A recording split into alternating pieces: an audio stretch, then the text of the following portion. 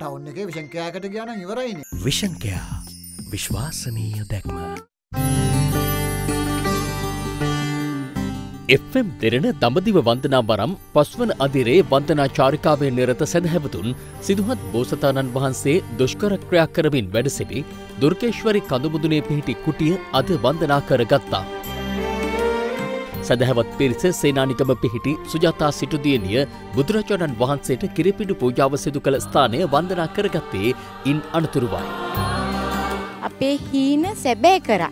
මගේම දරුව වගේ තමයි අපිව බලාගන්නේ මුළු දෙරනම මුළු ලෝකයම වැජ වේවා කියලා මං ප්‍රාර්ථනා කරනවා. සැදැහවත් පිරිස හෙට බුද්ධගයා පින්වි මේසෙල් සමාතන්වීමට නියමිතයි. එම් දෙරන දමදිව වන්දනා පරම් හයවන අධීර දැන් ක්‍රියාත්මක වන අතර අලියොම තුනේ සිට උදැසන හත දක්වාත් සවස හය සිට හත දක්වාත් එම් දෙරන දම්සක් නද ශ්‍රවණය කිරීමෙන් ඔබටත් මේ උතුම් භාග්‍ය උදාකර ගැනීමට හැකියාව තිබෙනවා.